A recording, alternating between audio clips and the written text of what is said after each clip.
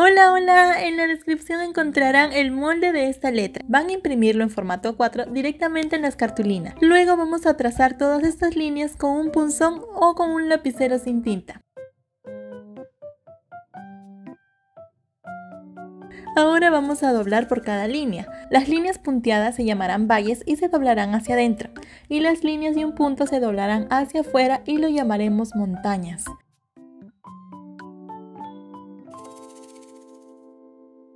También pueden ver nuestros anteriores videos donde explicamos mucho más detallado este paso.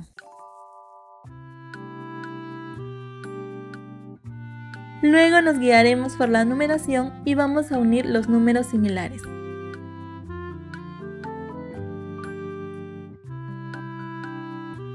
Por ejemplo, aquí tenemos la pieza 1 y la pieza 2 y vamos a ubicar el número 4 y 8 en ambas piezas y vamos a unirlo por ahí. Recuerden que todas las uniones son internas porque la parte posterior es la parte que se va a ver.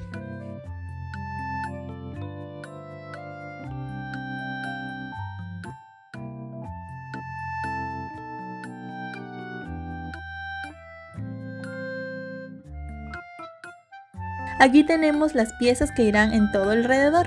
Tenemos la pieza 3 y la pieza 4. Vamos a empezar a unirlas para formar una sola tira. Esta letra L mide 26 centímetros aproximadamente de alto. Les recomiendo que usen una cartulina gruesa para que sea mucho más estable y compacto. Seguimos uniendo estas piezas y van a ver que se formará una sola tira.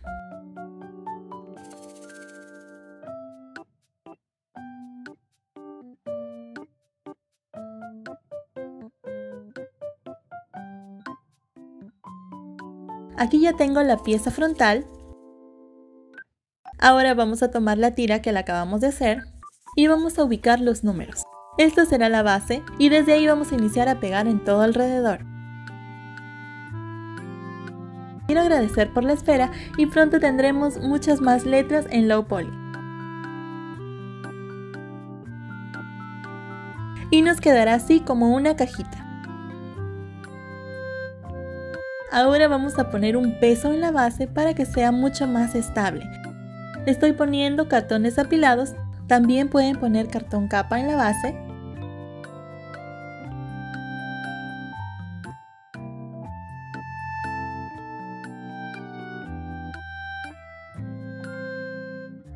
Y así nos debe quedar. Y ahora pegaremos la última pieza.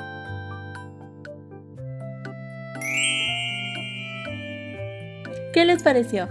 No olviden de suscribirse a nuestro canal. Nos vemos en un próximo tutorial.